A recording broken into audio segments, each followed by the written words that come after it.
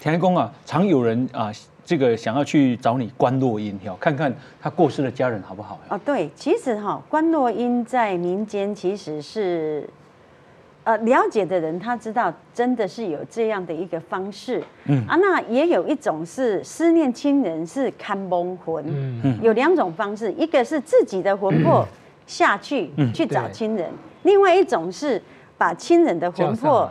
嘿，引上来就是牵引上来，然后跟他对话，这是真的有。嗯，那呃，其实我在菩萨还没，就是还没选我走这一条路之前，啊，那我我奶奶过世的时候，我们曾经就是说我曾经去观落音哦。哦。对，我自己想去观落音，可是我去报名了好几次，好去参加，就是你去的话，眼睛要蒙起来，好。然后要赤脚嘛，嘿，嘿，也有用黑色的布啊，然后挂金，然后蒙起来，然后脚要赤脚踩在地上，哦，能能个金爪这样子。那我去了两三次，我都关没落呀，我我一点感觉都没有，就关。旁边有人真的是有下去，我就下不去。你怎么知道人家有下去？他在对话，嗯，他就说啊，哎，有土地公来带他，他看到土地公，然后旁边的那一个。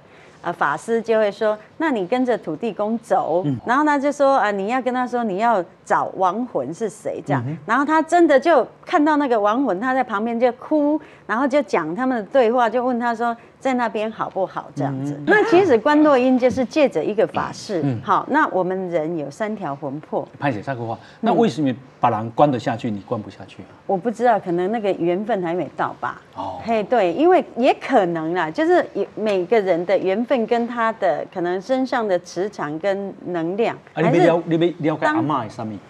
因为我阿妈是我，人家都是妈妈带大，我是阿妈。以前我我比较喜欢跟我阿妈在一起，我阿妈很有智慧。到我现在我回想人生，我碰到很多事情都还好，那时候有阿妈教我。她很小的时候就教我很多智慧的事情。对。那所以我跟她的感情很深，我就想要知道说，因为我阿妈是。在观世音菩萨那个得道日那一天是农历六月十九号，我永远都记得。他早上七点多就没有生病过世。那因为他在要过世的前七天，我就一个梦境就看到他要走了。他走的状况就跟我那一个梦境一模一样，所以我才要想要去找阿妈跟他。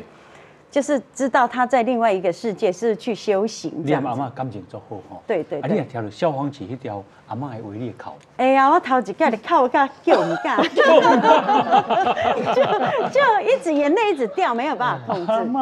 对，起码的都对对对，我就。叫你，你敢有听？对对对，活着的时候都不问呐。